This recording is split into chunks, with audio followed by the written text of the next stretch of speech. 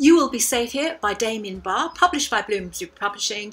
And this is a novel that is set both in 1901, so during the Second World War, and in present day. The novel is divided into different sections and obviously there are some different timelines. And as it opens, we have a short chapter where we're introduced to Willem. Willem is a 16 year old young man who is being taken to a safari camp, and it feels like a correction safari camp. He is um, a sensitive soul. He has a pug, Brittany. He'd much rather be at home with them, you know, doing his own thing.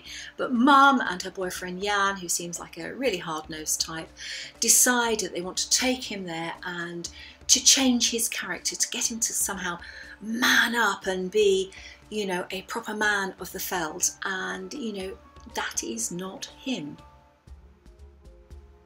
Following on from that, we get to meet Sarah van der Watt, and she is writing her own diary of her experiences in the Boer War. So this is early 1900s, and she is living in her home, and she has a son, and the English colonialists are coming, and they have implemented um, a policy of scorched earth, which means basically ruining, uh, destroying homesteads and everything, um, you know, slaughtering the cattle um, and basically making it so that people cannot survive.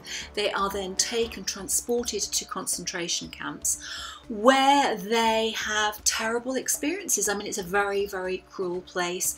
It's insanitary, uh, there's torture, um, there's illness, and you know, there's hardly anything to eat. And this is what the British, in part, were doing at that point of time. As the story progresses, we naturally uh, discover how Willem's story and Sarah's story dovetail in the end. I think what the author is doing in some way is looking back and redressing the imbalance of what has been learnt in history about things like the Boer War, um, things about British colonialism. Um, I certainly learnt at school about the Boer War. I remember Mafeking. I remember um, the relief of Ladysmith. Obviously, that always used to draw a titter. And somehow it is you know, it was about the British and, you know, how they ruled, and it was all kind of okay. And that balance is now being shifted so the full picture is being exposed for people to really understand what happened. I think what the author is doing, he's obviously creating a balanced view um, or trying to redress the balance of what we have learnt to date about what really went on um, during times of colonialism. And the cruelty that was meted out then comes forward to present day.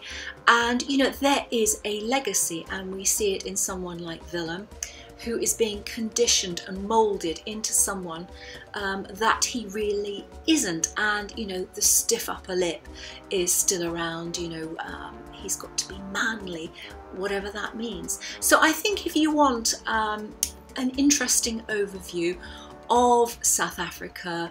You know, it's had its really troubled political times to present day, and you know, it still is.